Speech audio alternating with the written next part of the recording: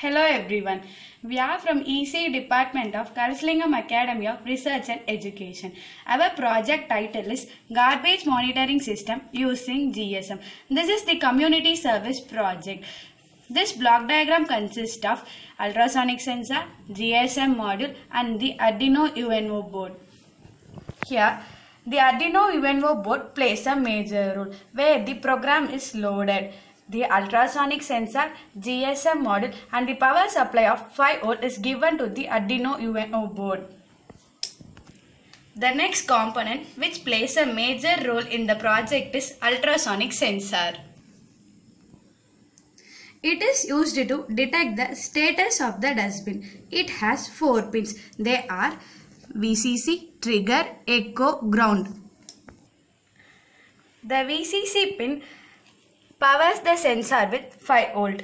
The trigger pin which is connected to the second pin of the Arduino board is the input pin. The echo pin which is connected to the third pin of the Arduino board is said to be the output pin. The ground pin is connected to the ground of the Arduino board. Please.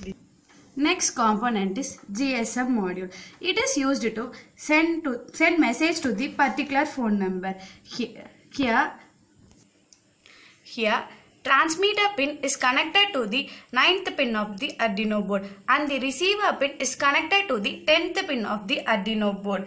The in the individual power supply of 5 volt is given to the GSM module. Next we are going to see about LED.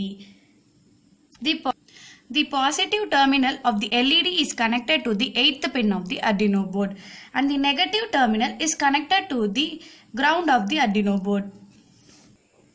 Now let us see about the working of the project.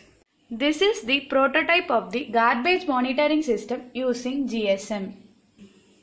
Now the dustbin is empty. Therefore the LED will not glow and no message will be received by the particular phone. Now the dustbin is about to fill. Here the ultrasonic sensor senses the status of the garbage and sends the indication to the Arduino board with the LED blink.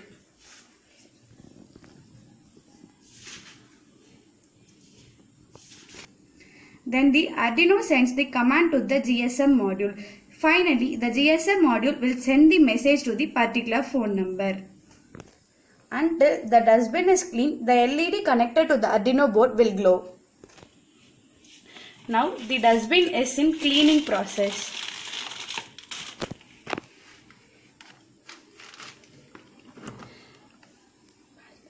Hmm.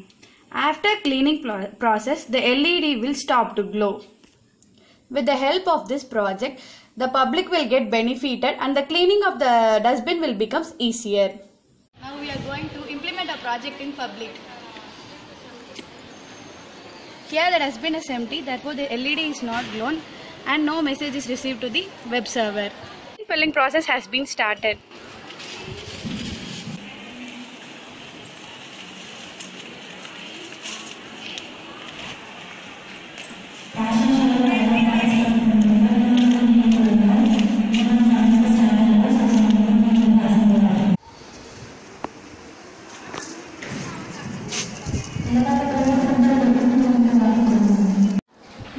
The dustbin is filled and the LED has been started glowing and the message has been received.